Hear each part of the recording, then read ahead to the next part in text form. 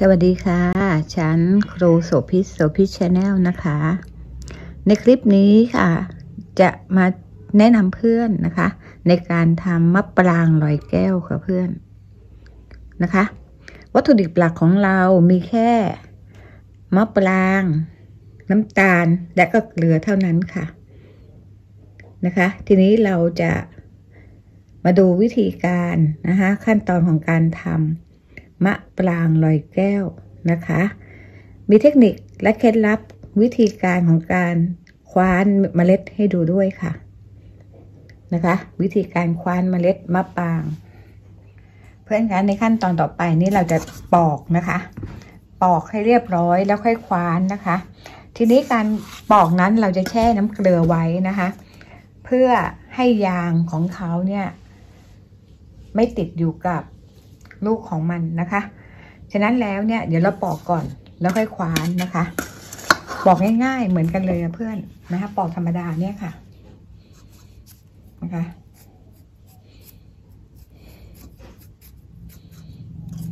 พยายามอย่าอย่าให้กินเนื้อเยอะนะคะ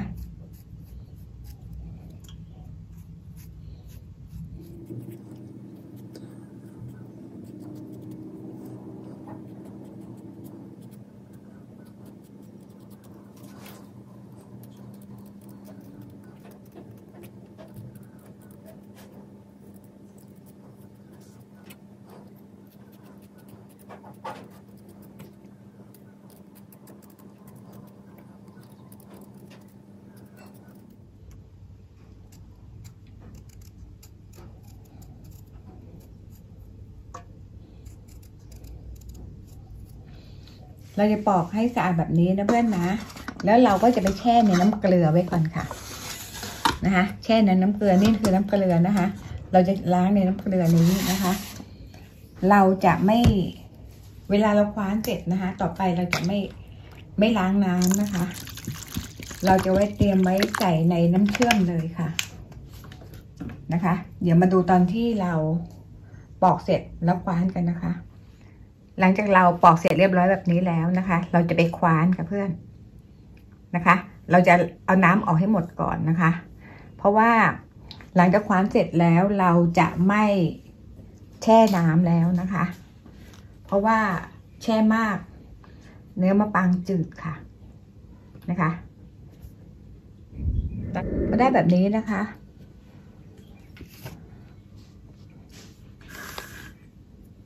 เพื่อนดูนะคะว่าวิธีการนะคะ อันนี้นะคะนี้ด้านหัวนะคะ เราก็จะเอามีดเนี่ยเข้าไปไว้ประมาณครึ่งลูกค่ะเพื่อนนะคะ ตัดให้ชิดเม็ดเลยนะคะ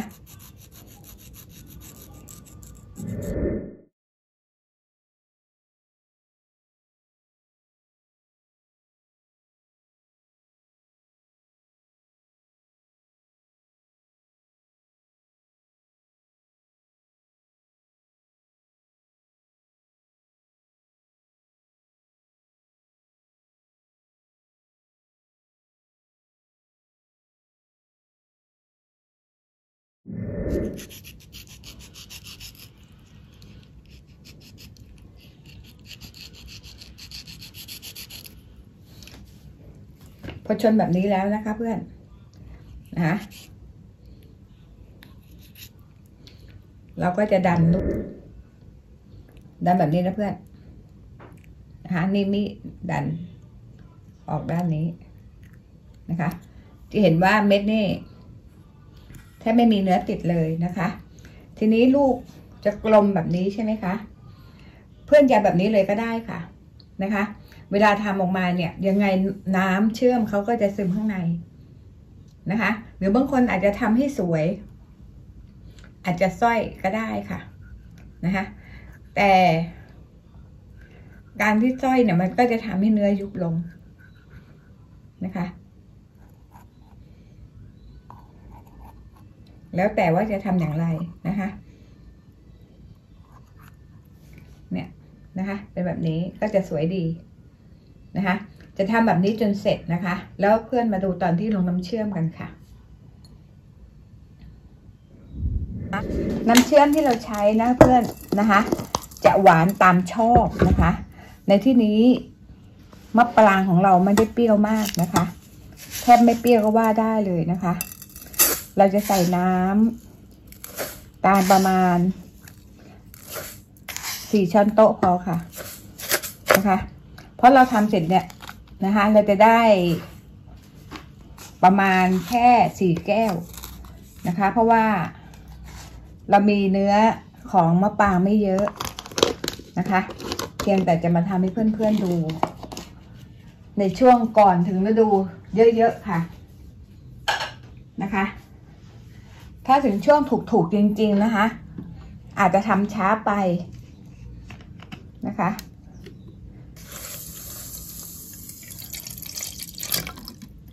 น้ำประมาณนี้เท่านั้นนะคะ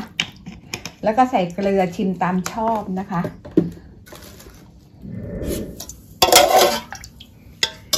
เดี๋ยวเราจะไปตั้งไฟให้เดือดนะคะ แล้วก็มาดูตอนที่เอาลงนะคะ เราได้ กะได้แบบนี้นะเพื่อนนะ เสร็จแล้วนะคะ ทีนี้เราจะเอามาลงน้ำเชื่อม ซึ่งน้ำเชื่อมเราได้ต้มไว้อุ่นแล้วค่ะนะคะ เราจะมาเอาน้ำเชื่อมที่เดือดจัดนะคะ มาลงนะคะ ให้เขาอุ่นในระดับหนึ่งแล้วนะคะ แต่ไม่ใช่เย็นจัดนะคะ เอามาลงเลยค่ะนะคะ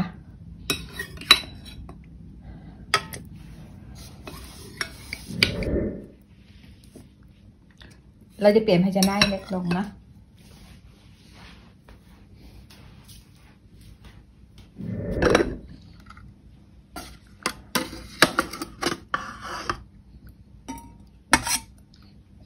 แล้วย้ายมาใส่นะคะ เพื่อที่จะนำมาเข้าตู้เย็นนะคะ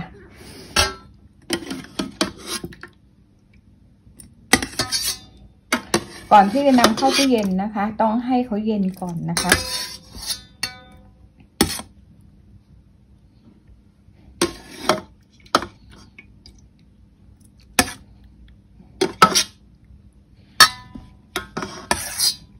ลูกนี้ที่สร้อยให้เพื่อนดูนะคะ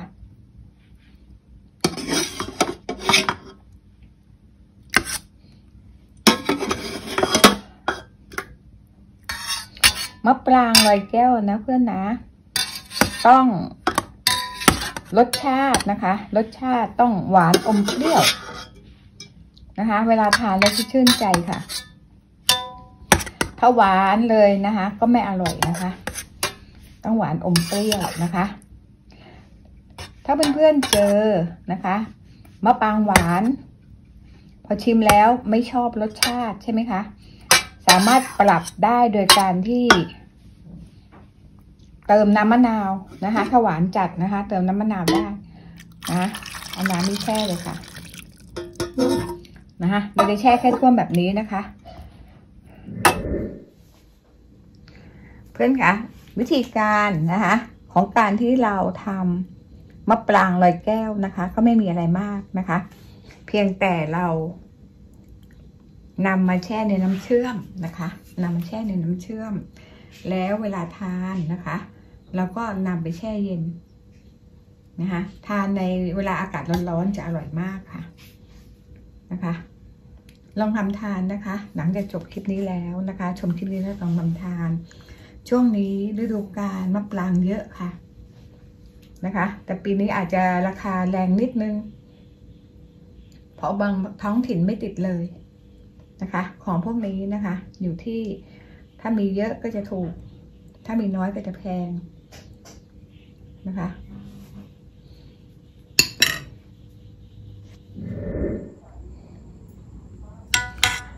เราแช่เข้าเนื้อเข้าน้ำได้ระดับนี้แล้วนะคะ พื่อนจะเห็นว่าน้ำออกมาเยอะเลยค่ะนะคะ ทีนี้เราเพื่อสะดวกทานนะคะ เราก็จะแช่เป็นถ้วยๆค่ะ หรือบางท่านทำขายนะคะทำเศษถ้วยแบบนี้เลยก็ได้ค่ะนะคะ ใส่ถ้วยที่สามารถแช่เย็นได้นะคะ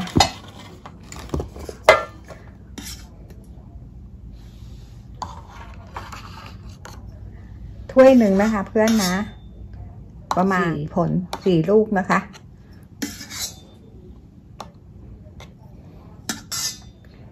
ทเดี๋ยวเราจะตักใส่จนหมดนะคะ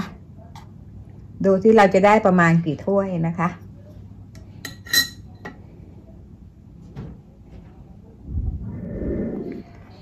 พอเรา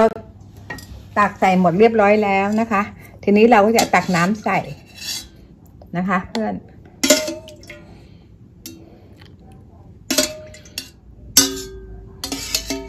จากน้ำแต่เฮท่วมๆเลยนะคะ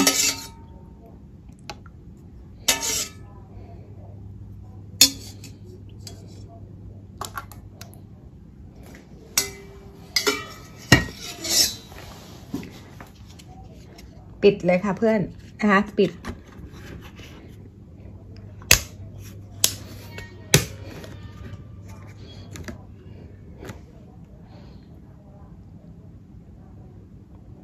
ได้แบบนี้นะคะ เราได้นะคะ ทั้งหมดประมาณห้าถ้วยค่ะเพื่อน เพื่อนคะมะปรางลอยแก้วของเรานะคะ เสร็จเรียบร้อยแล้วนะคะหนึ่งกิโลกรัมนะคะ เราได้มายี่สิบเอ็ดลูกค่ะ แพ็คได้ห้าถ้วยนะคะ น่าทานมากเลยนะคะ เพื่อนๆนะคะ ชมคลิปนี้แล้วมีวัตถุดิบ ลองทำทานหรือทำจำหน่ายได้เลยนะคะ ไม่ยากค่ะ เพียงแต่เรามีขั้นตอนของการทำเล็กน้อยนะคะ ตามที่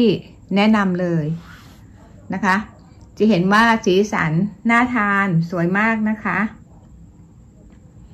เพื่อนๆชมคลิปนี้แล้วถ้าชอบ กดไลค์กำลังใจด้วยนะคะ กดแชร์พร้อมกดติดตาม เพื่อที่จะได้พบกับ